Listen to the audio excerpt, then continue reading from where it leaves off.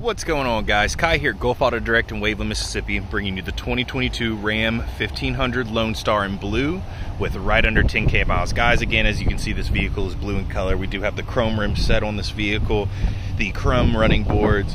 looks like the only damage I can really find in my walk around, it looks like that had a little scratch or scuff that happened here. Um, not a big deal, but again, we like to point everything out. We do have a full tint package on this vehicle as well. Looks like um, uh, moving towards the back here. Again, no scratches or any issues here. Wraparound taillights with no cracks, no holes, or any moisture buildup in it. We do have a tow package already installed on this vehicle. No dents in the back bumper, which seem to be pretty common in trucks. Looks like we do have a spray in liner here. Nope, this is a, um, a place in liner, but looks to be a really high quality one. Um, so no shifting or any issues there. Again, on this side, guys, same song and dance. Doesn't look like there's any um, cracks or holes or any moisture buildup in the, in the lights. And then moving down the side of the vehicle here, again, we do have the running boards. All the tires have really great tread. And into the back seat here, you can see all the door panels, no scratches or issues here. We do have the hard mats in from Ram in the bed, back of the truck here. Some nice little cargo compartments underneath the seats as well.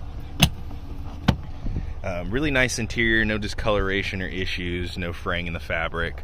Um, all the upholstery looks to be in really good condition. No abrasive smells or anything like that. But I'm going to walk down the rest of the vehicle, guys, again, just to show you there's no issues. Um, no cracks in the windshield, no stars, uh, no out headlights, no dents or anything like that.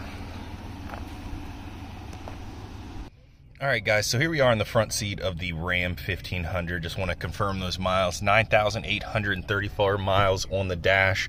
Um, this vehicle does have four wheel drive. We do have the tow, um, the tow, the brake assist, the tow haul mode, traction control, uh, two USBs, two micro USBs, an auxiliary port, and then this little shifting area that. Um, allows you to have a little more cargo.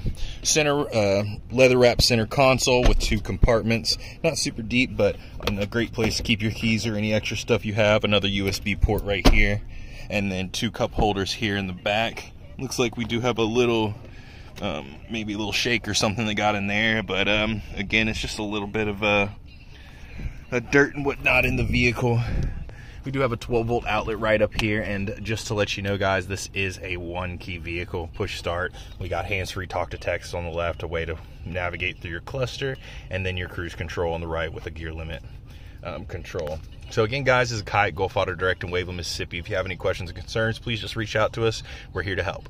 And this was the 2022 Ram 1500 with right under 10K miles. Hope you guys have a fantastic day. Bye-bye.